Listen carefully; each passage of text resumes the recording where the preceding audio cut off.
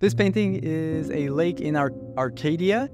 Um, it was basically some kind of a assemblage or a, a conversion of several paintings.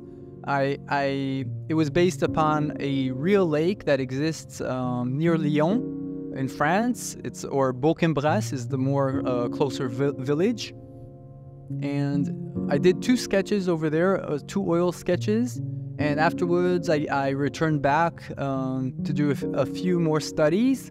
Uh, I took several photos as well. And when I saw the scene, it just it, it looked to me like a, a painting, a finished painting. It was so uh, pastoral. It was so so beautiful and so uh, calm. I, I just had to paint it, um, and it, it just it looked idyllic. I I, um, I don't think I've ever seen a real landscape that looked so so idyllic in my life. Basically, Arcadia is supposed to exist. Well, it actually it's a peninsula in Greece, but the idea of Arcadia is something that followed um, Western art uh, for centuries.